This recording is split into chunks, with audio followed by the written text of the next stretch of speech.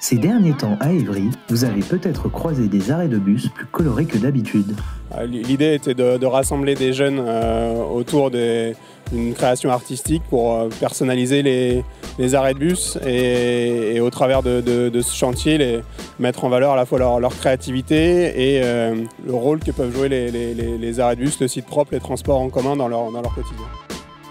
Projet initié par TIS, l'arrêt de bus Une nouvelle toile pour l'art vise à redécorer les arrêts de bus avec des graffitis dans un but bien précis. Le, but de, ce projet est euh, effectivement de créer du lien, euh, de mixer les publics puisque les jeunes viennent à la fois euh, de Courcouronne centre-ville et Courcouronne le quartier du Canal. Et le but c'est de redynamiser les arrêts de bus. On a voulu un peu redonner du punch aux arrêts. La ville en a profité pour initier ces jeunes à un projet artistique et pour organiser un buffet en présence de tous les participants du projet. On a fait un truc avec les jeunes et ça c'est cool parce qu'ils étaient vraiment motivés, que ça leur a plu et que j'ai vu des jeunes qui ont apprécié cet art.